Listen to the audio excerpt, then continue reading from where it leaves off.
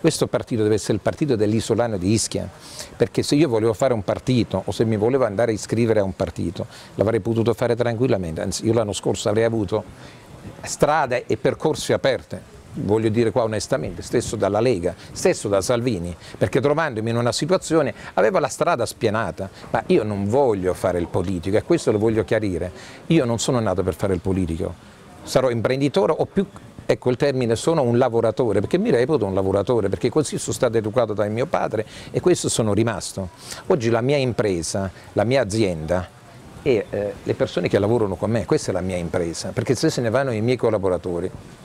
rimane un, una scatola vuota, va bene? Allora questo movimento, questo partito, come lo vogliamo definire, io lo propongo e io lo presento per il cittadino di Ischia,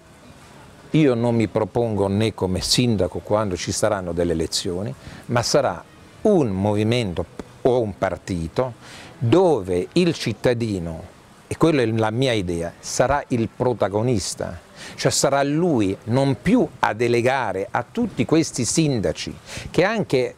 nella conversazione di eh, Marco ha dato ampio spazio a dimostrare quanto sono lontano i politici alla vita e ai problemi del cittadino, del commercio e di tutto l'altro. E invece il movimento, questo partito, deve essere il partito proprio dell'altra parte, di chi ci lavora, di chi ci vive. Allora non confondiamo per piacere che Aldo Presutti sta creando un suo partito politico, no. Aldo Presutti le è venuta un'idea a dire facciamo il partito di noi isolani,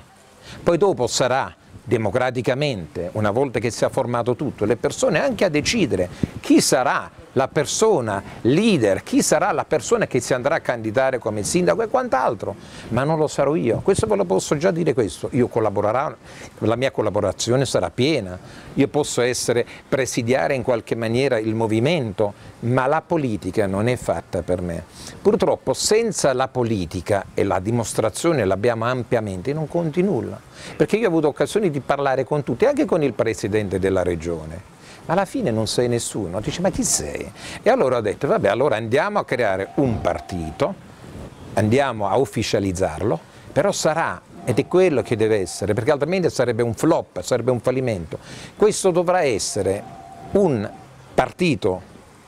chiamiamolo politico perché sarà un politico civico del cittadino isolano, che sarà lui